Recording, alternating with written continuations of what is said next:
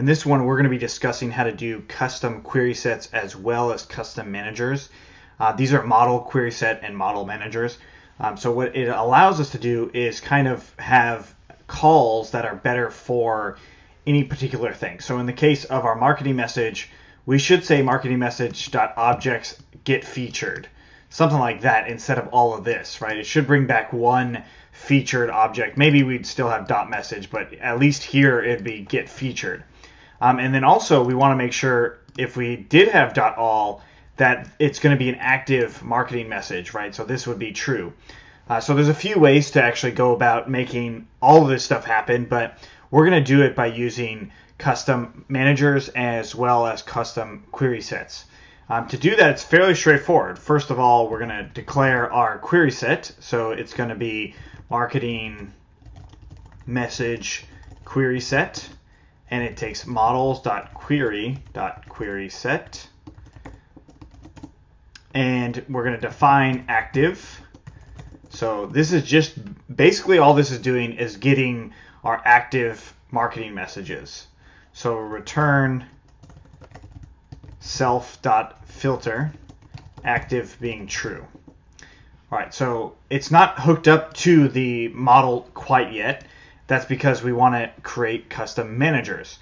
So a custom manager will hook up the model to these custom managers. So right now what we have when we want to use a, some sort of manager, this dot .all gives us back a query set right? So if we want to customize that .all to being only the active stuff, we'll go in here and do class marketing message manager, and it's models dot manager.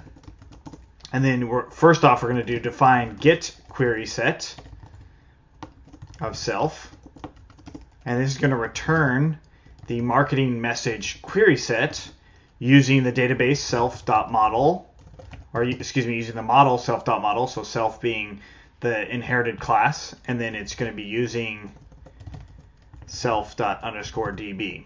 Uh, this is using our database essentially.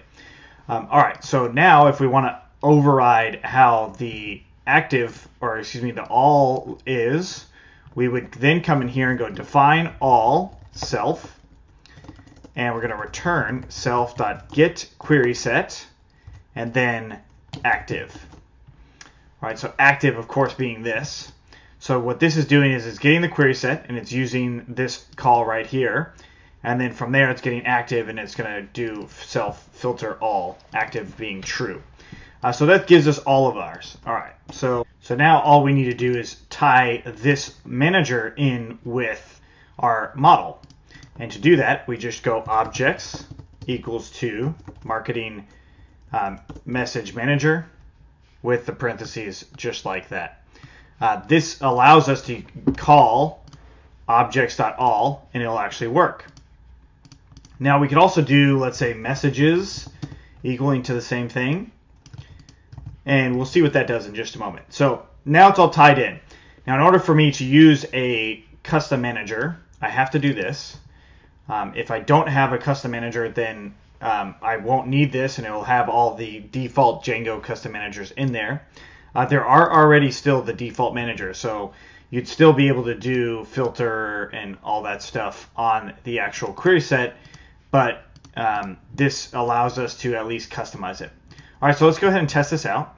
We'll go into Chrome and we'll refresh in here. We go into this marketing message, and I'm going to make it inactive, so I'm going to save that. I'm going to add a new marketing message, say another one. Another one is here now. I'll say this one's active and also say it's featured. So we save it. And now if we go back in, we see it says another one is here now.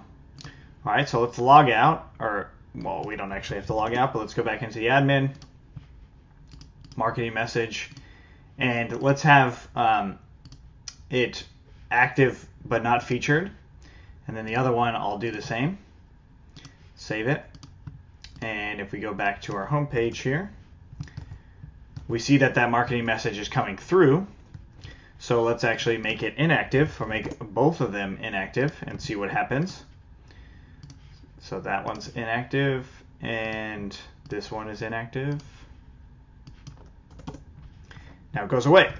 Cool. So now that actually works. Before it didn't actually work. So that's good. Um, and another thing that we talked about was this other one, messages. So this is a completely custom message or a completely custom manager. So we could change this to being messages. And let's make one of them active again. At least one of them. Go to active, save it. There we go. So that's what allows us to do with custom managers. I'm actually going to comment this one out because we're not going to use that. We're going to stick with objects as the convention. Um, all right, cool. So now that we have this, we might want to make sure that um, on all, all are definitely going to have to be active, but then we're, we might want to have featured ones. So define featured self. And we could do return self dot get query set active and then filter featured equals to true. Now this will get us the featured ones, and we actually could do uh, filter active being true, capital T true. Um, we could do it this way, but the bad thing about this is what it's doing is it's first going to filter it, and then it's going to filter it again right? So it's kind of like uh, I only get the active ones and then I filter it again. So if I cut this out and go this way, then it's going to get the featured ones and then get the ones that are active. Now, in some cases, this might actually work just fine, but realistically, using the query sets, it's going to filter it out for sure and not in any specific order, right? So in this case, it said featured equals to true, and then it filters out active equals to true well, what if we filtered out um, featured equals to true and then a date and then perhaps a uh, then active being true when that's just taking a lot longer and it's and it might actually remove some of the the ones that we want. Um, so that's why you would use query sets in this case because uh, we could, like I said, could do this or we could even do return super and it would be marketing manager self just like that. You can also do this, and that would still yield the same type of result, uh, but it is a lot better to do something like that. So let's go ahead and do that, and I'm going to copy this and paste it down here. So uh, dot active, and then I'll do dot featured. So we need to make a featured, and I'll copy this and paste it in here. And I'll call this featured. Featured equals true. All right, so this is now getting it where it's definitely going to get the featured, at least the featured set of them. Now we might want to get the single featured item, uh, whatever that's going to be. So we could do it where um, it's like set up to a certain one, right? So like in the middleware, we just grabbed the first in the object of the query sets. So let's say, for instance, I want to get get featured item. So I'll do define get featured item and I return self. And then this time I'm going to get all these and then just do 0 or try that and do 0 and accept I'll return self.querySet featured. So it's, or actually an empty query set we should do, or an empty list. Right, so basically what this is doing is it's going to return a list item. This is going to return a zero. So if there is no featured one, so if none of them are featured, then it's going to return just an empty list, or we could just say return none. Um, so if it gets a featured item, that's what it's going to do. All right, so now how do we use this specifically? Uh, it's going to be the same as all, but now we just do get featured item. And so in our middleware, we'll do objects, and we'll call this, give it all that, and do get featured item. And that is now going to be taking place of what we've done. So now it's going to get the featured item and it's going to give us what that is. Now we might have it later where we want to have multiple messages being shown at, shown at some time, uh, but really like it's not likely that you're going to rotate messages here, right? It it shouldn't be at least. You shouldn't rotate messages constantly up here.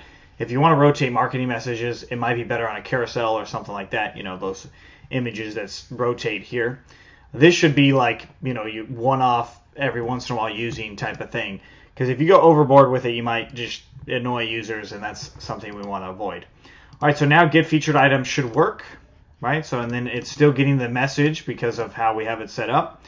Um, all right, so now if I refresh in here, it goes away, and let's actually see why. So if we go into our admin, and we go to marketing messages, we go to another one. This one's not active or featured. We go to this one, it's also not featured.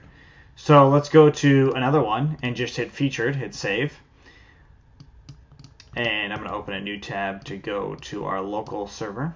Still not working, right? So it's still not showing up because active is also not um, in there. So if we refresh now, there it goes. So now it's active and it's featured. And then if we do active and featured on the other one, which one comes up? It's the other one. And that's because of how it's ordered. So um, right now the ordering is uh, basically how it's it's ordered by when it was added into the database, right? So um, each time you actually save an object, it, it creates an ID for it and it's linear. So the first object's ID is one, the second object's ID is two.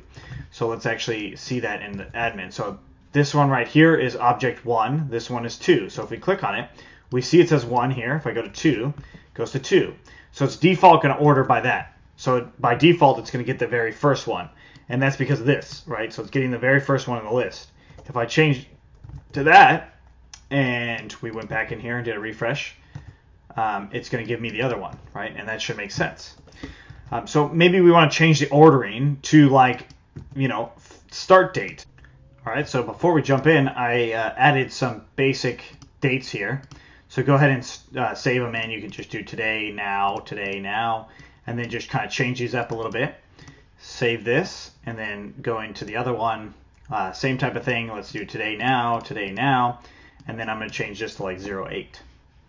All right, cool. So now that we've got these dates, uh, the start date here is a few months ago, and then the end date would be today. So let's actually change it to being like, you know, a little while ago. Okay, so now we've changed the dates, and they should work fine, right? So, but we want to actually order them by the start date. So the start date being, uh, we want the the most recent one. So the one that starts now or soon to now should be that one on top, and then the one after that should be after that. Um, so before I actually show you how to do it as far as a query set, let's actually do it in the admin so you can see what I'm talking about because it's a little confusing just talking about it and not seeing it. Um, so we'll go into our marketing admin and we'll do list display. And then we're going to put a list of our fields that we want to display and also the order of how they're going to display. So the first one is Unicode. And then the second one is start date. And then the third one is end date. Okay, so Unicode being um, this right here.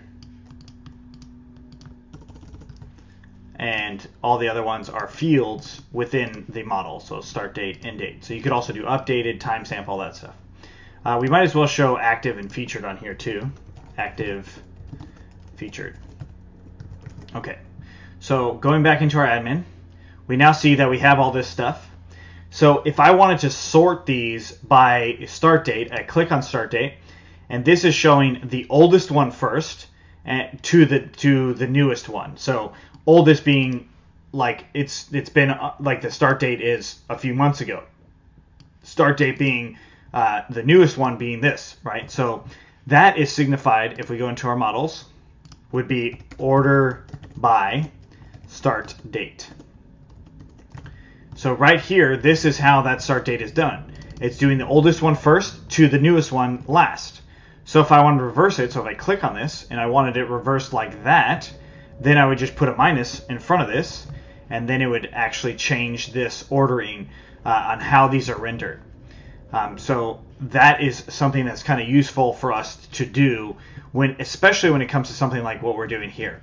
So now that I've got that order date reversed like that, um, this will allow me to do all types of things with this get featured, right? So the start date, it should show it only if it's actually like the the newest one should be shown first, right? Not the oldest one. The newest one should be first. So if it starts like newer or, or it's a newer featured item, that's when we want to that's the one we want to show. So going in here, we see that it's at, or well, we actually don't need to go in there anymore. It's active and featured. So this is the one that should show up first. So let's go ahead and refresh in here. And if we refresh, it says this is the right. So this is the if we changed the start date for this to like let's say for instance January, save it. Now this is the is one down, and we refresh in here, it's no longer there right? So now it's actually going off of at least the dates that we set um, for the ordering. Now, of course, there's one thing you should note that, well, what if today is not in these dates? Should it even show this? My answer to that would be no, but that's getting a little bit more complicated, and it will be how we actually update this right here, the query set itself, on how it's actually even going to show featured items let alone how it's going to be ordered. Um, so that's something that we'll do later with the query set. But for now, we've got it working to where it's going to be the ordering of the date that it starts. And then we might also want to have it greater than or, or less than the end date. So it's definitely have, going to be greater than the start date. Today's date will have to be that way and then uh, it's going to have to be less than or equal to the end date, right? So that's something that we'll do in the future because it's just get a little bit more complicated, and then it also has to do with our current time and stuff like that too.